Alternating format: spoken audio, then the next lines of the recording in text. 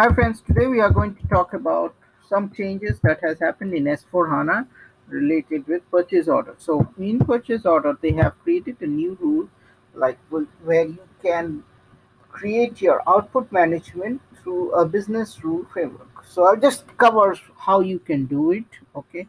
And then you can related with the configuration, we'll cover it in a later tutorial. So let's go to materials management, SPRO we went first then we went to materials management okay? And then we go to purchasing. And here we go to purchase order. So where is purchase order?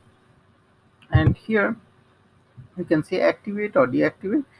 This for SAP S4 HANA basis based output management. So if you click on this you can activate or deactivate based version of the output for project after you have saved set of rules defines the type of so based on the based on the rules that you are defining it will say okay you want it print you want it xml or whatever you want. So this is very important. This is a new thing that has happened in s4 hana. Okay so this is this is something that you want to keep into account all the time. Okay so now if i just execute here you have two options. Okay i think i blocked it somewhere let me go here it is. So it's locked here. No new output management and this. And if you click on new entries you can do this also. Okay. So this is very important.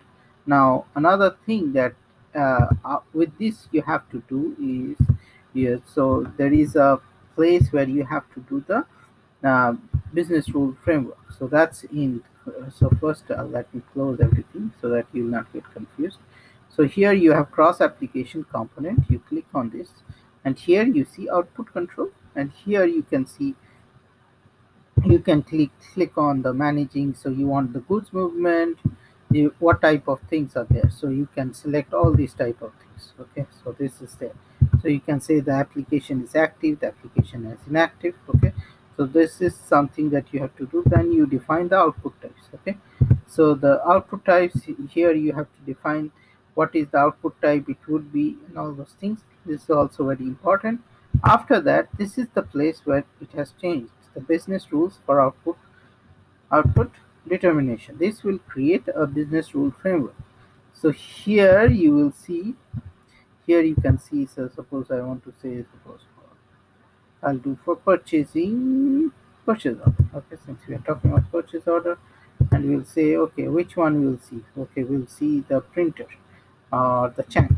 Okay so I'll just select this and here you can see the channels the different channels that we have inside of print and all now if you want to add new things you can always edit and you can create you have to deactivate and all those things. Now if I let me see what are the different de determination type we have here. You can do email so email recipients. Okay so suppose I put email recipient you don't have anything now here I'll go I'll click edit. And uh, here I can do additional actions. So if I click on it and here I can put things like let's say check completeness check overlaps rearrange and all those things. So this is very important. Let me go and try to play with something else. Let me go to channel. And here we'll see maintain and I'll click edit and I'll put additional actions. And here we will say check. So context overview syntax so here you can see all these things that is there. This is the table this is the output type all these things you can see. So you can build a lot of stuffs here through through this process okay? And now if I go here you can select the start simulation and you click on continue and you can simulate what is there so if you see suppose you put output type uh, clicking and this is the this is like the NetWeaver it looks like more related with uh, it's more related with uh, uh, the Fiori or the NetWeaver client. Let purchase or if I click on this. And I'll select and I'll put execute and display process type. Here you can see you can see the simulations and all those things. So this is pretty useful and it's very handy. I'll cover a step-by-step -step process how to do this in the in s4 hana uh, but this is something that has changed in sap ecc6 to s4 hana. So business rule framework okay? So that's it. Stay tuned to my sap channel and happy sap learning and have a